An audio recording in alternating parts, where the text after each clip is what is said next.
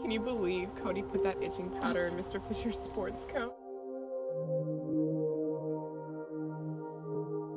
Mia, come on, it's Halloween. Please. I think it's kind of lame that it's Halloween night and we chose to herd ourselves here to study.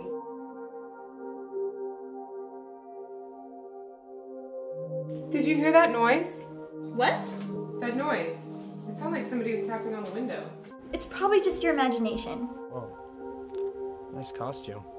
Cody is such a jerk. Can you believe him? Save your breath. I know all about the Delville slasher. Put the mother humming phone down and come here! Holy sh! We gotta get out of here! Please don't kill us, Mr. Delville Slasher!